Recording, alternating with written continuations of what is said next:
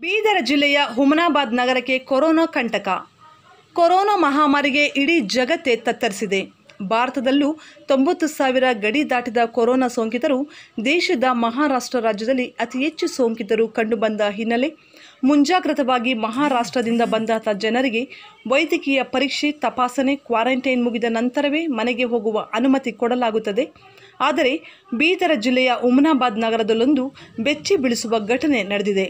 ಹೌದು, ಮಹಾರಾಷ್ಟ್ರದಿಂದ ಒಂದು ಖಾಸಗಿ ಬಸ್ ಮೂಲಕ ನಗರಕ್ಕೆ ಬಂದ ಬರೋಬ್ಬರಿ ಮೂವತ್ತೊಂದು ಜನರು ಯಾವುದೇ ಭಯಭೀತಿವಿಲ್ಲದೆ ಕ್ವಾರಂಟೈನ್ ತಪ್ಪಿಸಿಕೊಳ್ಳಲು ಬೈಪಾಸ್ ಮೂಲಕ ಬಂದಿಳಿದು ತಮ್ಮ ತಮ್ಮ ಮನೆಗೆ ಹೋಗುವ ಸಿದ್ಧತೆ ನಡೆಸಿದ್ದಾರೆ. ನಗರದ ಜನರು ಮಹಾರಾಷ್ಟ್ರ ಬಸ್ಸನ್ನು ಕಂಡು ಭಯಭೀತರಾಗಿ ಪುರಸಭೆ ಅಧಿಕಾರಿಗಳಿಗೆ ಮಾಹಿತಿ ನೀಡಿದ್ದಾರೆ.